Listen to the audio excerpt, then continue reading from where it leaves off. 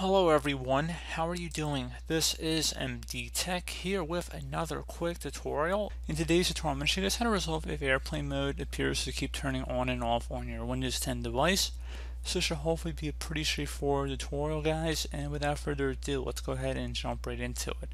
So we're going to go ahead and start this tutorial off by opening up the start menu. Just left click on the start button one time, type in device manager, Best match should come back with the Device Manager listed right above Control Panel. So go ahead and left click on that. You want to expand the network adapter section, so go ahead and double click on that. And then locate your network adapter listed under here. So it shouldn't be a mini port, it should just be a normal network connection or something to that extent. So it should say something similar to this. And you want to go ahead and right click on it and select properties.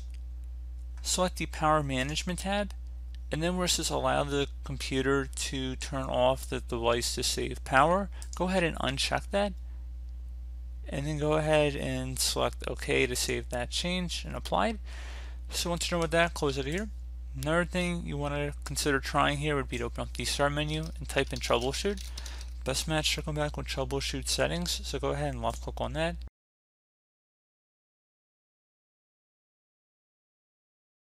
You want to scroll down underneath Get Up and Running and select Internet Connections. You want to go underneath Find and Fix Other Problems, so just scroll down and then select Network Adapter, Find and Fix Problems for Wireless and Other Network Adapters, and select Run the Troubleshooter.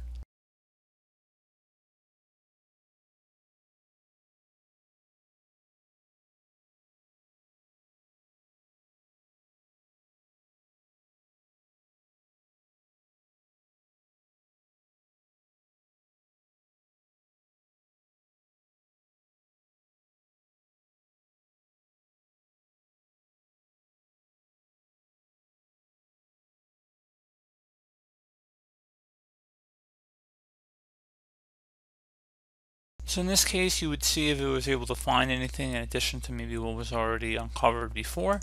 So just another thing you can explore there. And then finally, if you actually close out of here, so once you're done with that, that should hopefully be about it, and hopefully your problem was able to be resolved.